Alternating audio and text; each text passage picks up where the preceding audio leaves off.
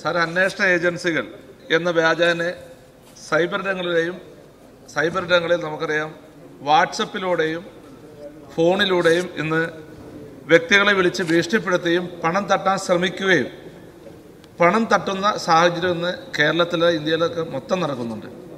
Sir എന്റെ ഒരു അനുഭവം എനിക്കുണ്ടായി എന്റെ എന്റെ വീട്ടിൽ അനുഭവം ഉണ്ടായപ്പോഴാണ് അതിനുമ്പ് ഒത്തിരി ആളുകൾ പരാതിയും പറഞ്ഞിട്ടുണ്ട്. എന്റെ ഭാര്യയെ വിളിച്ച് എന്റെ മകളെ പോലീസ് ഡൽഹിയിൽ അറസ്റ്റ് ചെയ്തിരിക്കുകയാണ്. എത്രയും വേഗം അതിന് അവർ എന്തോ ആവശ്യങ്ങളൊക്കെ ഉന്നയിച്ചു അതിൽ ഫോണിലൂടെ തന്നെ. സ്വാഭാവികമായിട്ട് ഭാര്യ മകളെ അറസ്റ്റ് ചെയ്യുന്ന പറയുമ്പോൾ ഭാര്യ പെട്ടെന്ന് പാനിക്കായി. പാനിക്കായി ഫോണിൽ കൂടെ തന്നെ ഭയങ്കര പ്രയാസത്തോടെ പറഞ്ഞു എന്നെ അപ്പം തന്നെ വിളിച്ചു. ഞാൻ അപ്പോൾ തന്നെ മകളെ വിളിച്ച് അന്വേഷിച്ചപ്പോൾ മകൾ ക്ലാസ്സിലുണ്ട്.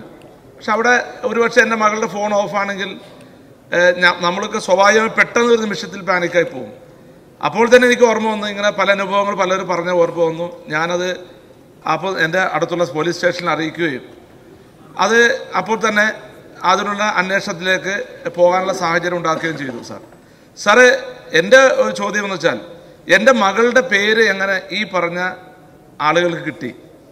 എന്റെ ഭാര്യയുടെ നമ്പർ എങ്ങനെ കിട്ടി? നമ്മുടെ സ്വകാര്യതയിലേക്കാണ് ഇതിലൂടെ ഇവരെല്ലാം കയറുന്നത് സാർ സാറേ അപ്പോൾ നമുക്ക് വേണ്ടത് ഇതൊരു ശാശ്വതമായ പരിഹാരം വേണം.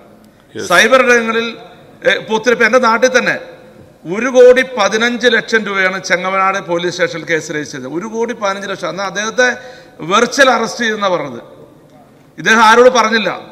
മൂന്ന് നാല് ദിവസം കഴിഞ്ഞപ്പോൾ ഇദ്ദേഹത്തിന് സ്വാഭാവികമായ ഒരു എന്താണ് ഒരു പെരുമാറ്റത്തിൽ മാറ്റം ഉണ്ടായപ്പോൾ വീട്ടുകാർ ഒറ്റ മിനിറ്റ്. ചോദിച്ചപ്പോഴാണ് കാര്യം മനസ്സിലായി സാർ ആ കേസ് ഇപ്പോൾ ക്രൈംബ്രാഞ്ചിന് മാറിയെന്ന് എനിക്ക് അറിയാൻ സാധിച്ചത്. പക്ഷെ ആ കേസും എങ്ങും എത്താത്ത സാഹചര്യം നിൽക്കുന്നത് സാർ. സാർ അതുപോലെ തന്നെ സാർ, ഇപ്പൊ എനിക്ക് ഫോൺ വന്നു. ഞാനൊരു കാര്യം ഇവിടെ ബഹുമാനപ്പെട്ട മുഖ്യമന്ത്രി ശ്രദ്ധപ്പെടുത്താനുള്ളത് ഇനി ഇതുപോലെ പരാതിയുമായി പോലും ഇപ്പൊ എന്റെ എന്റെ ഭാര്യക്ക് ഭാര്യയ്ക്ക് ഫോൺ വന്ന അതേ ദിവസം തന്നെ എന്റെ കസിന് ഫോൺ വന്നു.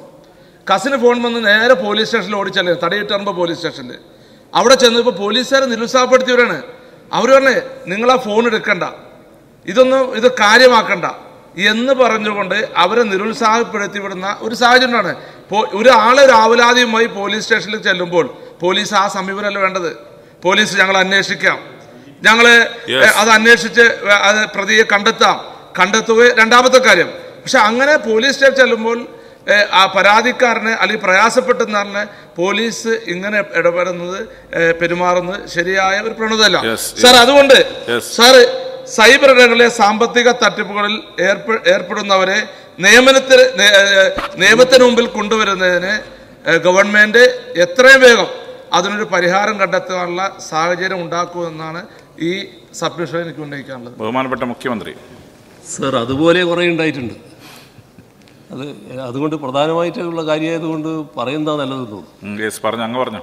സർ സാങ്കേതിക വിദ്യയുടെ വളർച്ചയ്ക്കൊപ്പം സൈബർ കുറ്റകൃത്യങ്ങളും അനുദിനം വർദ്ധിച്ചു വരികയാണ്.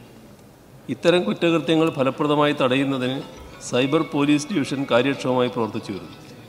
അതോടൊപ്പം എല്ലാ ജില്ലകളിലും സൈബർ പോലീസ് സ്റ്റേഷനുകളും പ്രവർത്തിക്കുന്നുണ്ട്.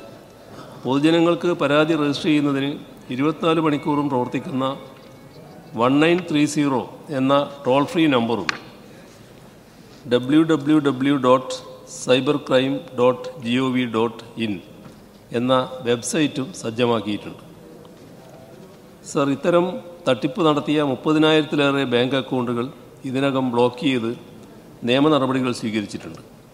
തട്ടിപ്പിന് ഉപയോഗിച്ച മൊബൈൽ ഫോൺ ഉൾപ്പെടെയുള്ളവ പ്രവർത്തനരഹിതമാക്കിയും പ്രതികളെ അറസ്റ്റ് ചെയ്തും കർശന നിയമ നടപടികൾ സ്വീകരിച്ചു വരുന്നു സൈബർ സാമ്പത്തിക തട്ടിപ്പിനെതിരെ ജാഗ്രത പുലർത്തുന്നതിന് സോഷ്യൽ മീഡിയ പേജുകൾ വഴി പോലീസ് വ്യാപകമായ ബോധവൽക്കരണവും നടത്തി വരുന്നുണ്ട് സൈബർ സാമ്പത്തിക തട്ടിപ്പുകൾ തടയുന്നതിന് സമഗ്രമായ സൈബർ സുരക്ഷിത ഫിൻ ഇക്കോസിസ്റ്റം ഉറപ്പുവരുത്തേണ്ടതുണ്ട്. ഇതിന് കേന്ദ്ര സർക്കാരിന്റെയും റിസർവ് ബാങ്കിന്റെയും സംയുക്ത ഇടപെടൽ ആവശ്യപ്പെട്ടിട്ടുണ്ട്. Okay thank